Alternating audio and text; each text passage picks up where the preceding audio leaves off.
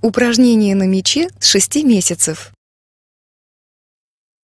Занятие на мяче — это прекрасная стимуляция вестибулярного аппарата, развитие координации и подготовка к ходьбе.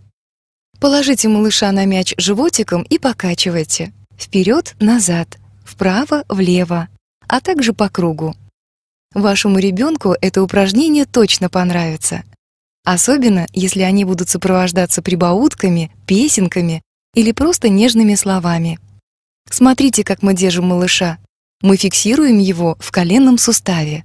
А теперь давайте покачаемся вниз-вверх. Встаем на ножки, ныряем вниз головой. На ножки, ныряем. 5-6 раз.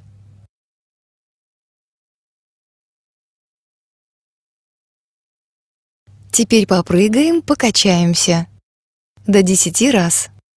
И сажаем малютку на мяч. А теперь попрыгаем на шаре сидя. Прыг-скок, прыг-скок.